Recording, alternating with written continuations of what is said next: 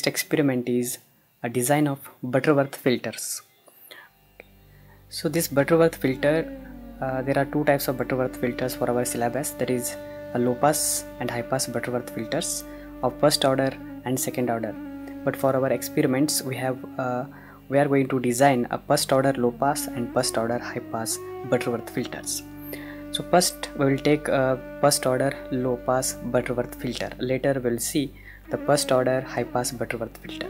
Okay, this circuit diagram is for a low pass filter, first order low pass filter. So this circuit is consist of single RC stage.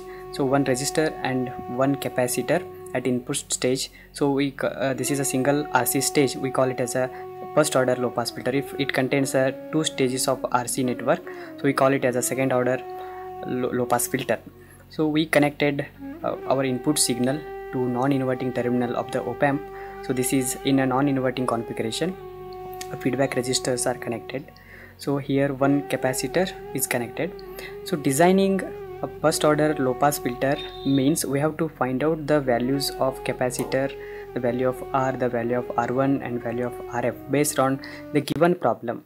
Okay let us see a design problem. The problem is like this. Design a first order low pass butterworth filter having a higher cutoff frequency of 1.6 kilohertz and passband gain of 2 so we have to design a filter such that we will get a cutoff frequency or 3 decibel frequency at 1.6 kilohertz and gain passband gain that should, that should be 2 so based on given problem we have to find out the value of r c value of r1 and rf for we know some uh, uh, the formulas for uh, calculating the value of c r r1 and rf so given is higher cutoff frequency is given that is 1.6 kilohertz and that is passband gain af is given that is 2 so we know the formula fh equal to 1 divided by 2 pi rc so first we have to assume a standard capacitor value. So some uh, capacitors are, are, available in our lab having a value of 0.1 microfarad and uh, 0.01 microfarad. We will assume for this experiment we will assume a value of c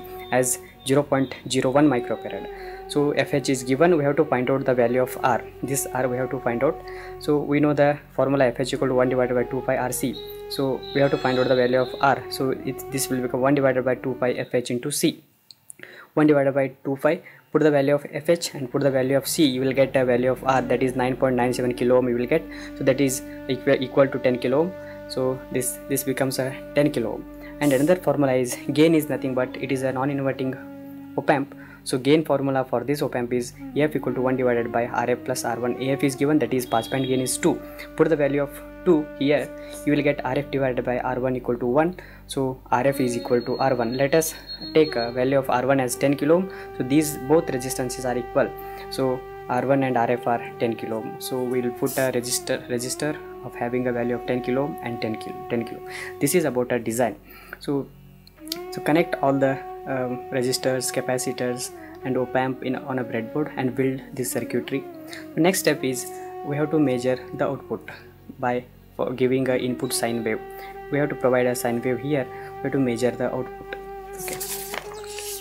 So first procedure is so keep the input voltage constant. The we are connecting input voltage sine wave. That is we have to uh, keep this voltage input voltage constant. For example you can take 0. 0.5 volt peak to peak or anything. For simplicity we have taken uh, input voltage that is 1 volt peak to peak. So next this is constant should not change this uh, amp, uh, this uh, this voltage input voltage. Just we have to change the input signal frequency. Keep on changing the frequency of input signal and note down the output sine wave peak to peak value. First what we have to do? We have to keep this um, input voltage that is constant 1 volt peak to peak. Then what we have to do is we have to we have to change the input signal frequency okay. The for different input signal frequency what what is the what will be the output we have to note it down? For example we'll take some readings like uh, for 100 hertz. So 100 hertz input signal what is the output what is the output voltage we have to note it down? For 100 hertz normally we'll get 1.98 or 2 2.02 like that. So based on this we have to find out the gain so gain is nothing but it is output divided by input. The input is 1 volt output we got uh, 1.98 so gain is v naught divided by v in that is 1.98 again we have to convert this gain in a decibel scale. The if you convert uh, gain from linear to decibel you have to use 20 log v naught divided by v and you will get a gain in decibel.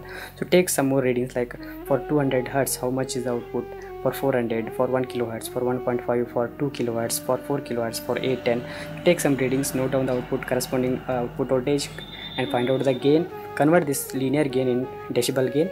After uh, getting all these the, all the readings so you know the frequency you know the gain. So draw uh, using semi log graph you have to draw uh, frequency versus gain uh, on semi log graph. Okay. And using that one you have to find out the cutoff frequency this is the 6.02 is the highest gain. So to find out the cutoff frequency we have to subtract 3 decibel from this highest gain 6.02 you will get a 3 decibel here.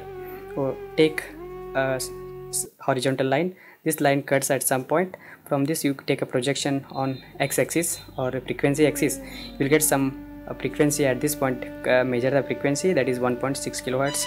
So this is the cutoff frequency. Hence we successfully designed a lower low pass filter low pass first order butterworth filter. Having a, a pass band gain of 2 and cutoff frequency of 1.6 kilohertz so for designing a high pass filter the procedure is same. What you have to do is for high pass filter you have to interchange the position of capacitor and resistor. Connect capacitor instead of here connect that capacitor to here and resistor you connect here so that that becomes a first order high pass filter and remaining procedure remains same. Again you have to find out the you have to you have to keep it constant input voltage and you have to keep on changing the input frequency note down output voltage calculate the gain convert that gain in decibel scale. Again using a semi-log graph you have to draw uh, frequency versus gain formula. For high pass filter also the design problem is same uh, the design problem is design a first order high pass filter having a lower cutoff frequency FL of 1.6 kilohertz and pass band gain of 2 so same problem for high pass filter also. Using using this uh, you have to draw frequency versus gain curve and calculate the cutoff frequency. Thank you